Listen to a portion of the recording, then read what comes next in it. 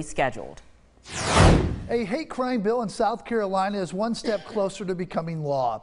News 2's Katie Augustine joins us live from downtown Charleston. And Katie, at yesterday's meeting, the committee voted to change the name of the bill to the Clementa C. Pinckney Hate Crime Act.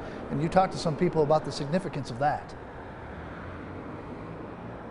Brennan, that's right. This hate crime bill is in part a result of the tragic Mother Emanuel shooting that we know happened here in downtown Charleston back in 2015. Clementa C. Pinckney was the reverend of the church and he was one of the nine whose lives were taken. I spoke with the man who had to fill Pinckney's shoes about what this bill means for the congregation and for the state of South Carolina. Uh, Reverend Pinckney paid the ultimate price. My heart continues to go out for his family. Uh, and I would hope and pray that this, by renaming the bill, that it gives a lasting legacy to such a giant of a man. The Emanuel Nine, the victims of the tragic Mother Emanuel shooting in Charleston in 2015, top of mind for state lawmakers as they work to pass a hate crime bill. South Carolina is one of only three states without comprehensive hate crime legislation.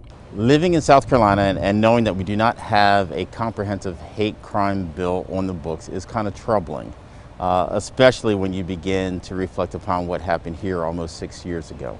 The bill being propelled through the state legislature would enhance the penalties for hate crimes. The list of protected classes includes race, religion, national origin, and sex, among others. That's what we want to do here is we want to make a statement that as a community, we do not tolerate this type crime. One amendment to the bill took out protections for the LGBTQ community, but at a House Judiciary Committee meeting, it was added back in. There isn't a single reason any citizen in this state should not feel safe or should feel like less of a person. And after the tragedy on June 17, 2015, safety is a priority for Mother Emanuel, and this bill would add a sense of security to the congregation.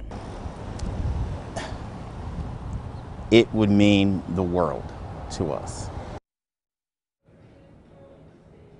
The bill passed through the Judiciary Committee yesterday and it's now expected to be heard on the State House of Representatives floor by April 10th. Live in downtown Charleston, I'm Katie Augustine. Count on two.